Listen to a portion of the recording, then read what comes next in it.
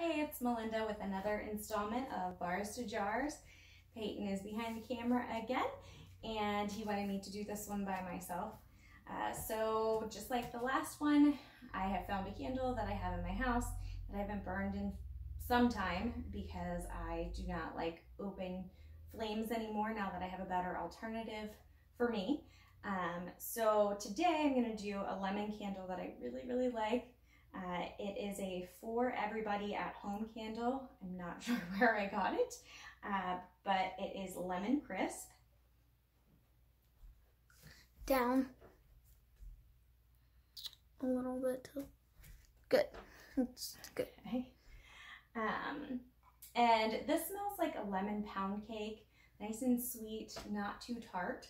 Uh, so I was looking in our supply to see what we had.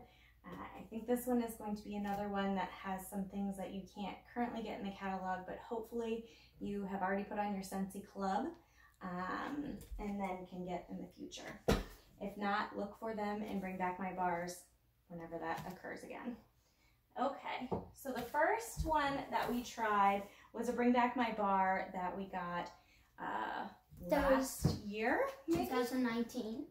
2019 and it smells like a lemon cupcake. It's called Cutie Pie Cupcake.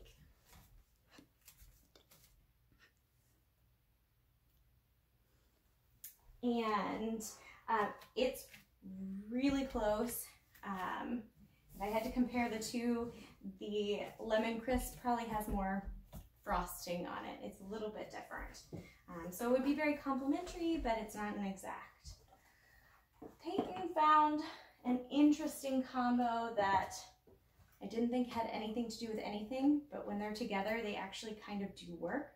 Um, it is Here Comes the Sunflowers, uh, which was a spring retired one, also in my club, so if you really want it, um, I will have this full pack and one coming in October, and apple butter frosting, which is still available and always a favorite of mine. I will bring these so Peyton can tell me if we're in the um, right area. Down. Down. A little teensy tiny up. okay. um, so I didn't really think sunflowers and apple butter frosting were really going to work out to be a lemon, but it's surprisingly very close. Um, See, I don't I quite understand. I don't quite understand how he picked these two out and how they work together. Um, but if you have these two, it might be worthwhile putting a cube to a cube. I was pretty much trying to find like yellow ones that kind of like smelled like lemons, sunflowers, that type. It worked. So what I came across that works the absolute best um, is Squeeze the Day, which is lemon, lemon, lemon, uh, and Churro Churro, retired in the spring, um, but in my Scentsy Club as well. So I'll show you these guys down.